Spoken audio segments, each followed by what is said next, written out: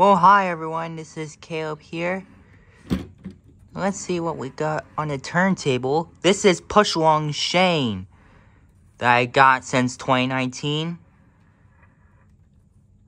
Well, let me tell you, 2019 was a rocky year for Thomas, wasn't it? So, changes can be good, you know? I like his face.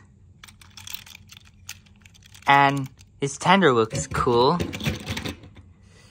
So, yeah. I mean, the year 2020 was abysmal. I hope everyone agrees with me on that.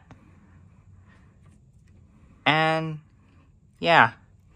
Thank you very much for watching. And have a good time.